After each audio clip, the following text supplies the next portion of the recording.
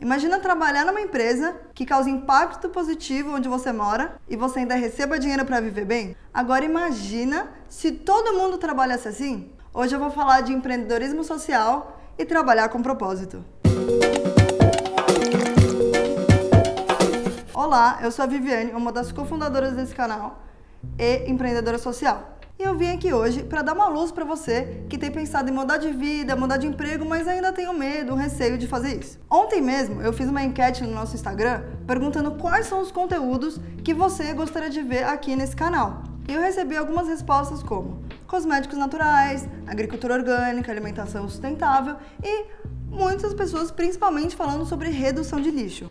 Esse assunto, que tem sido mais debatido ultimamente nas redes sociais, tem chamado a atenção das pessoas para compostagem, economia de água, reciclagem, entre outras coisas como aqueles canudinhos reutilizáveis e outros objetos reutilizáveis, porque descartável não dá mais. E isso abre portas e mostra pra gente o quanto esse mercado está crescendo. Mais pessoas estão consumindo de forma consciente e por isso mais empreendedores estão empreendendo de forma consciente e assim caminhamos para uma população toda mais consciente. Mas a questão é: lucro ou propósito? O legal do empreendedorismo social é que a gente une as duas coisas: é lucro mais propósito. Propósito e lucro. Uma coisa está ligada à outra. Há curtíssimo período atrás, e inclusive a maioria das pessoas ainda hoje em dia, pensam apenas no lucro. E o lucro quer dizer você pode trabalhar com alguma coisa que impacte negativamente o meio ambiente, degrade o meio ambiente, ou não importa muito o que acontece com as pessoas, né? Então, essas são as empresas tradicionais. Em um dos cursos de negócios sociais que eu fiz ultimamente, o professor me disse: existem as empresas tradicionais que pensam apenas no lucro e tem as ONGs, por outro lado, que pensam só na sociedade. Essa aqui recebe dinheiro e pensa só no dinheiro. Essa aqui depende de doação para viver. Então está acontecendo um movimento em que as duas partes vêm vindo para o meio, o caminho do meio. A gente precisa trabalhar pensando em como a gente vai deixar esse planeta, porque o que, que adianta a gente ganhar dinheiro se a gente está degradando onde a gente mora? E é nesse caminho do meio que tem surgido ideias inovadoras e essas empresas sociais, como as pessoas que trabalham pela redução de lixo, por casas mais ecológicas, por descentralização do saneamento e pela alimentação sem veneno e por aí vai, tem muita coisa surgindo por aí. E no Porquê Não, por exemplo, é o espaço que a gente divulga todas essas ideias ótimas. Mas quais são os prós e contras de trabalhar numa empresa social? Então vamos começar pela parte ruim, né? Um emprego formal, que você ganha o salário no final do mês, fixo, faz com que você tenha um planejamento mais fácil da sua rotina. Então, esse é um ponto negativo, né? Se você empreender, você tem aquelas emoções de altos e baixos. Às vezes acontece coisas que você tem que improvisar ali e se virar no final do mês. Porque, né? Nem tudo são mil maravilhas. Mas você também pode mandar o seu currículo para essas empresas sociais, o que, né? Faz com que você esteja no meio do caminho, do meio do caminho.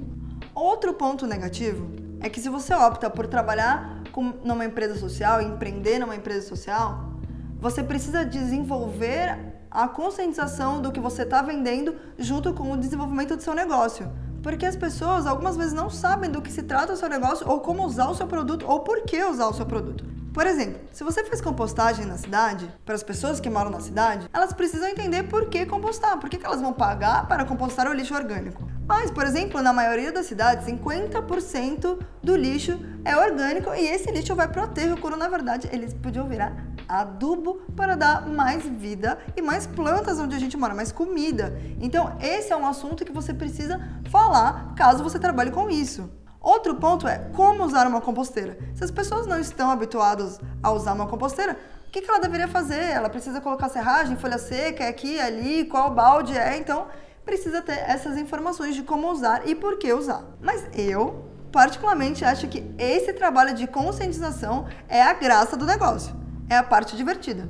É muito bom poder trabalhar com o que acredita e perceber a transformação real das coisas a curto prazo. No caso da composteira, por exemplo, você vê aquilo virando adubo, as pessoas trazendo essa atitude para o dia a dia e mudando a forma de pensar em relação a todo o resto, por, um, por uma simples atitude que é o descarte de lixo. Então aqui já emendando o negativo no positivo, né? Porque não dá para ser uma coisa ou outra, né? Uma coisa incorpora a outra. Então, um ponto positivo é essa conversa de conscientização com as pessoas que estão interessadas no seu trabalho. E se você acredita nisso, você vai ter muito prazer em conversar com elas sobre como melhorar a vida. O segundo ponto positivo é realmente melhorar a sua vida. Trabalhar com o que a gente acredita faz com que a gente tenha mais vontade de fazer, faz com que a gente tenha mais interesse em aprender, faz com que a gente crie uma rede de pessoas que tem a ver com você. Eu, por exemplo, tenho maior prazer em falar sobre o porquê não e todas as coisas que o porquê não divulga por aí com os meus amigos, com a minha família, com haters, com todo mundo, porque a gente está aprendendo um com o outro. É um prazer mesmo, independente da hora, porque eu escolhi isso para minha vida.